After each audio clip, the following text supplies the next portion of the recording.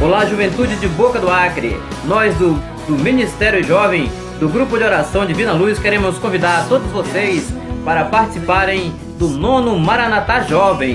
Né, o nono Maranatá Jovem acontecerá no Salão Paroquial Santa Terezinha, ali ao lado da Igreja Católica. Com certeza vai ser o final de semana abençoado pelo Senhor. Muita pregação, peça teatral, muito louvor. Com certeza Cristo espera a tua presença. Estará conosco o nosso irmão Marcos, lá da cidade de Rio Branco, Acre. Então não perca, é nos dias 23, 24 e 25 de setembro. Venha conosco, venha passar esse final de semana maravilhoso e inesquecível na presença do nosso Senhor Jesus Cristo. Nós do Ministério Jovem de Boca do Acre esperamos a tua presença.